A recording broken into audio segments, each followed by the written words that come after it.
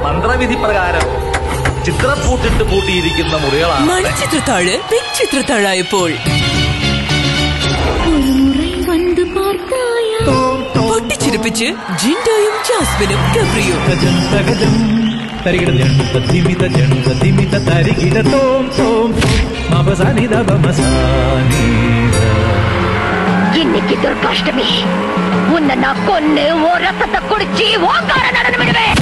Television awards രണ്ടായിരത്തി ഇരുപത്തിനാല് ശനി ഞായർ ദിവസങ്ങളിൽ രാത്രി ഏഴ് മണിക്ക്.